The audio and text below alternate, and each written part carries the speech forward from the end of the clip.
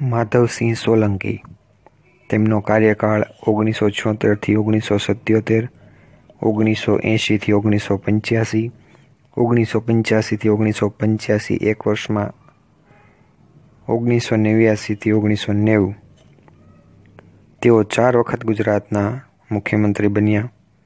પાંચ વર્ષનો પૂરો કાર્યકાળ પૂર્ણ કરનાર પ્રથમ મુખ્યમંત્રી. પછાત વર્ગને મદદ કરવા કુટુંબ પોથી દાખલ કરી. વિશ્વ બેંક પાસેથી પ્રથમ તબક્કે પાંચસો કરોડ પાસ કર્યા. ભરૂચના ચાવજ ખાતે જીએનએફસીની સ્થાપના થઈ.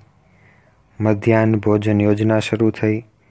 એમડીએમ એટલે કે મિડ ડે મિલ સ્કીમ ચાલુ કરવામાં આવી.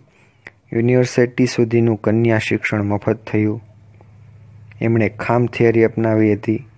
ખામ એટલે કે એટલે ક્ષત્રિય એચ એટલે હરિજન, એ એટલે આદિવાસી, એમ એટલે મુસ્લિમ. ઓગણીસો ને એક્યાસીમાં પ્રથમ અનામત આંદોલન શરૂ થયું, જેનું કારણ ઓબીસીમાં પાંચ ટકાનો વધારો કર્યો તે હતું.